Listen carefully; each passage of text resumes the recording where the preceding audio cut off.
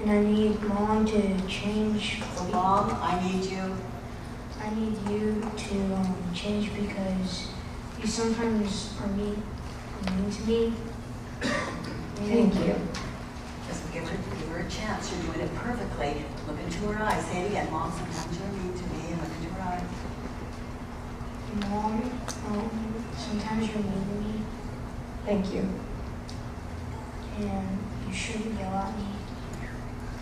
Thank you. I think you shouldn't be so stressed and tired and angry sometimes. Thank you. Are you feeling where he's coming from? I mean, just sink into it. We want our children, we want to know what they're thinking, we want to know what they're thinking, we want to know what they're feeling. These worksheets are brilliant. If you really want to connect with this child that you love so deeply.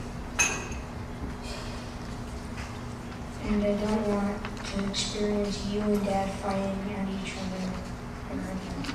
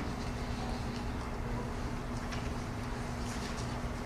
Thank you. Okay, so start, start over. Uh, where, what, the part about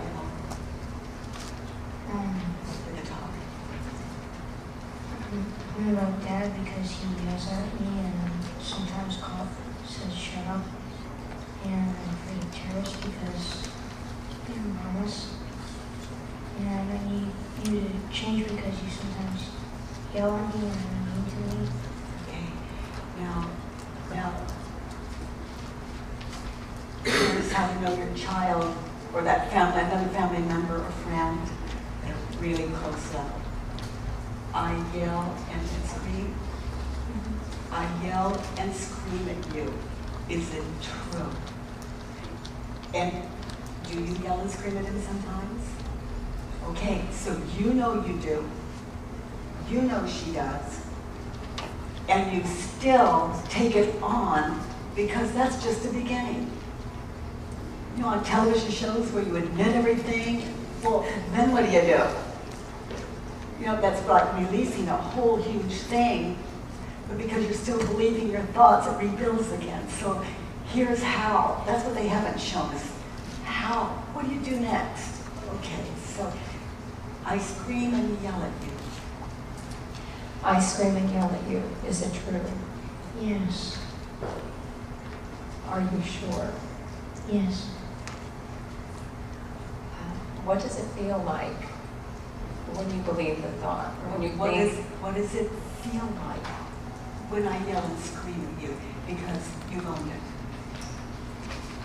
what does it feel like when I yell and scream at you? I feel scared and like I want to run away and never come back.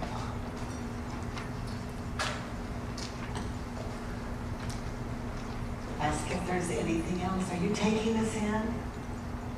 This guy will give you everything.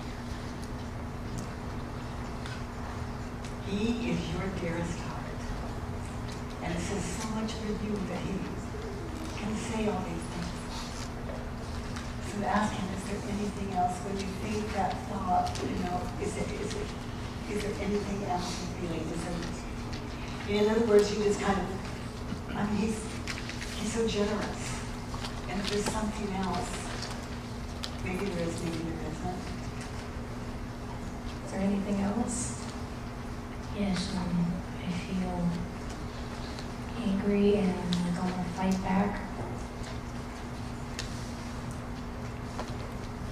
Anything else?